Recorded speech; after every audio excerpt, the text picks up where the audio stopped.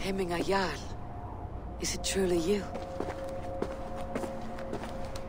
Of spirit, not of flesh. Why have you not reached Odin's Hall?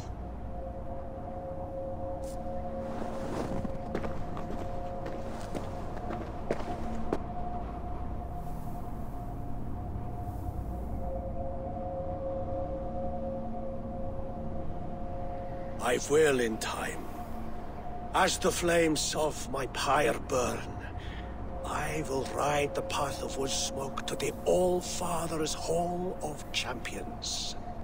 I am grateful to see you once more, Jarl. I struggle with the task you set before me. To choose your heir is not an easy thing.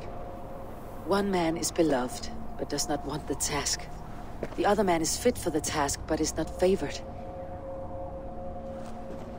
I could not give you any more counsel in life, Eivor. So too in death am I rendered silent. Forget wise counsel and rational arguments. What does your heart tell you? My heart is stopped. It says nothing. This should not be my decision, Hemminger. The choice was always yours to make. You were their chief. As Sigurd is your chief. But that does not quench your appetite for glory as you covet his place upon the high seat of your clan. I do not seek to replace Sigurd. Fate weaved our futures long ago. We're only following its pattern. Yet you see it coming. You welcome it. Shall I renounce my fate then?